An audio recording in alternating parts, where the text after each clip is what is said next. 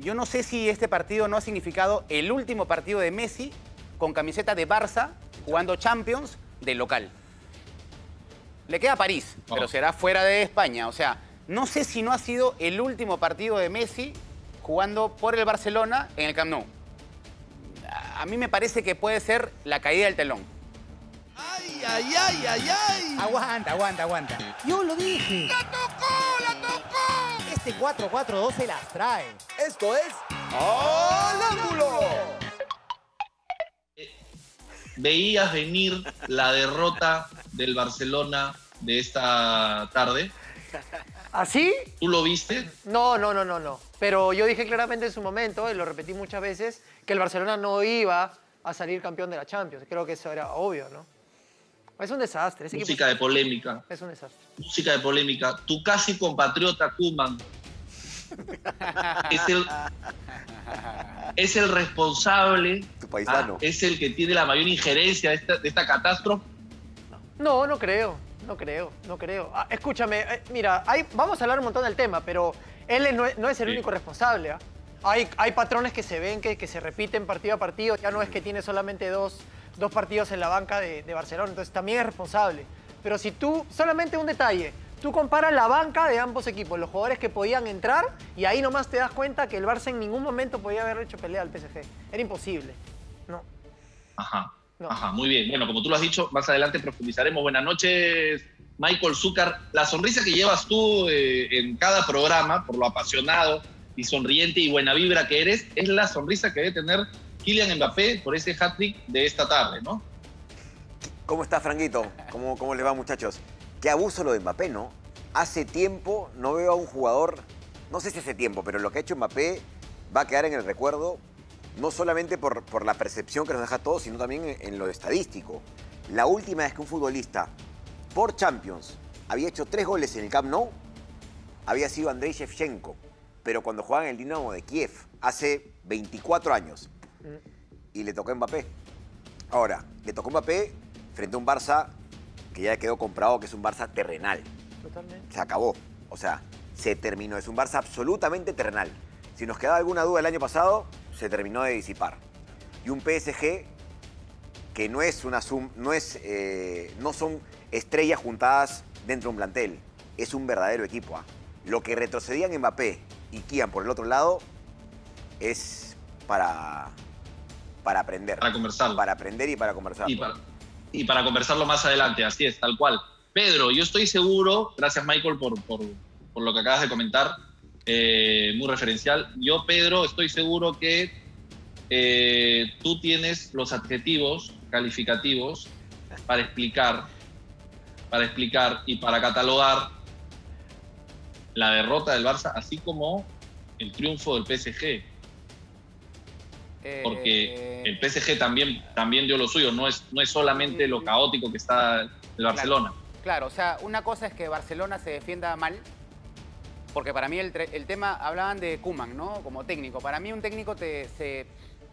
eh, a ver, la parte defensiva de cada técnico eh, es lo que lo legitima como entrenador, justamente. La parte defensiva, el equipo que se defiende mal, es ahí sí es culpa del técnico.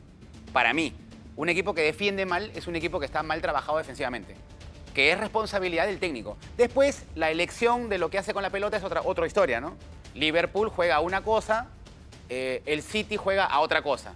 Liverpool a dividir, el City a construir. Con la pelota. Luego, ¿cómo te defiendes? Yo creo que ahí sí va de la mano con, la, con el sello del técnico. En este caso, Kuman no ha hecho un buen trabajo. Porque una cosa es mejorar en la Liga Española, cosa que Barça ha hecho, y otra cosa es competir internacionalmente. Ahí hay un tema del entrenador. Ahora, aparte de las carencias de Barcelona, yo sí creo que hay mucho mayor mérito del PSG. El PSG hoy día jugó sin Di María y sin Neymar. Y lo desapareció Barcelona. ¿Por qué? Porque no se basa en individualidades. Es cierto, tuvo un Mbappé histórico, pero igual, tienes a un Berratti, que es segunda guitarra, pero cómo toca, Claro. ¿cierto? O sea, hay un funcionamiento. Y defensivamente hablando, tú veías un equipo frenético. Poquetino entró bien. Tiene técnico el PSG. Eso por un lado. Y lo otro, lo otro este, yo me parece que Barcelona, que tenía en el tema Messi un asunto ahí pendiente, yo no sé si este partido no ha significado el último partido de Messi con camiseta de Barça jugando Champions de local. Le queda París, pero Vamos. será fuera de España. O sea, no sé si no ha sido el último partido de Messi jugando por el Barcelona en el Camp Nou. A mí me parece que puede ser la caída del telón. Es Diego, irremontable. es- Buenas noches. O sea, es irremontable, perdón, ah, perdón que, que me metí un poquito más, pero Sí, sí, sí. eh, tiene, si gana 3-0 queda eliminado en París. Si gana 3-0 en París, queda eliminado el Barcelona. Hace cuatro goles. Y hace 4 goles, 4-0. O 4-1 para ir a- a- al tiempo este. Parecería imposible. ¿Qué tal, Franco? ¿Cómo estás? ¿Todo bien? ¿Cómo te va, Diego? Bien, bien. Sí, sí, bueno, este, extrañado por lo que por lo que ocurrió. Yo me imagino que tú probablemente por las ausencias del PSG y pensaste que el Barcelona podía ganar tal vez una mínima diferencia, pero no fue así, ¿no? Sí, claramente la, ausencia de Di María y la ausencia de, Neymar ah, daba para pensar que, el partido podía ser más parejo, pero en la medida que fue, incluso Barcelona empieza ganando y en la medida que fue avanzando el partido, el, el Paris Saint Germain fue, fue muy superior, ¿no? Con Paredes, con Gueye, con, con Berratti ganando el medio, con, dos laterales que pasaban mu- mucho al ataque, que jugaban muy abiertos eh, y después con, con Icardi jugando probablemente uno de los mejores partidos que yo le he visto, muy asociativo, retrocediendo mucho. Por el otro lado, King preocupando a Jordi Alba, que es el principal argumento del Barça, lo tuvo, lo hizo defender más que, lo, que atacar.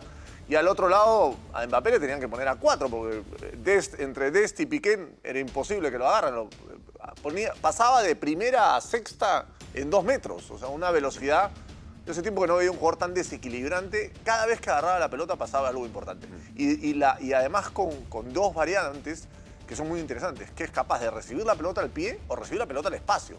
Entonces, eh, y en las dos te gana, y en las dos te mata. Y encima hace tres goles, los tres distintos, ni siquiera parecidos. Uno de zurda, otro llegando a un rebote. Este, muy, muy completo, muy, muy, muy completo y, y- y se notó la mano de Pochettino, ¿no? Este, un, un técnico que, o sea, lo, lo que tú decías, Pedro, es, es determinante. A, a este nivel, el Barcelona se las ha ingeniado para en la liga meterse tercero y ganar algunos partidos importantes. Pero a este nivel no te puedes dar el lujo de, de tener un jugador que no defienda. Y el Barcelona siempre se ha dado ese lujo con Messi, porque Messi retrocede más lento, va leyendo el partido, todo eso. Pero Dembélé no, no, no marcaba, Griezmann trataba de hacer el esfuerzo, pero llegaba tarde, entonces terminaba defendiendo con, con menos gente y en cambio París Saint Germain lo conversábamos con José, pasaba de presión alta a presión baja en, en una transición rapidísima, nunca lo agarrabas mal parado, nunca lo agarrabas desorganizado.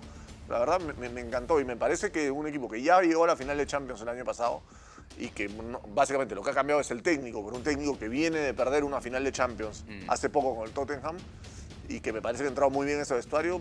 El problema se, Barça se es- pone, se pone favorito. ¿ah? En un partido como el de hoy, el- un partido como el de hoy, queda expuesto el Barça en defensa, eh, En y- ataque, en el medio, Ajá. individualmente, colectivamente. No, el es el Barça, fin- el Barça es el fin- estuvo lo del Barça es el fin. lejísimo. Es un fin, el fin- lejísimo. es el, el- el último capítulo, lo, lo que dice Pedro, yo, yo coincido. Yo creo que este ha sido el último partido de Messi en el, en el Camp Nou en Champions. En París no hay forma, no hay forma de que lo voltee. este, y eso lo digo. No, no, no hay que ser brujo para entender que este Barcelona no es capaz de meter cuatro goles. El- uno po- Ni el PSG capaz de recibir cuatro. no, no, además, Por lo el, mismo el que hincha del. Barça se podrá agarrar de la eliminatoria anterior, que terminó 4-0 en París y después la volteó 6-1, pero ahí jugaban Neymar, Messi, Suárez. Y Neymar, el- hoy, hoy en la previa estaban pasando el resumen de ese partido, faltando 4 minutos estaba 3-1 y Neymar mete 3 goles, mete tres- bueno, dos él y uno Sergio Roberto, pero mete un gol de tiro libre impresionante que lo mete en la eliminatoria, pero tenía ese nivel de jugadores. Y ese fin de siglo tiene que ver con este capítulo, tiene que ver con lo de No, pero tiene que ver con lo de. Lisboa, No, con lo de además, Bayern Múnich el año hay, pasado. hay dos cambios muy simbólicos. Los dos últimos cambios, cuando sale, sale Busquets triste, y ¿no? sale Piqué, Qué triste. eh, no lo saca Messi porque no se atreve.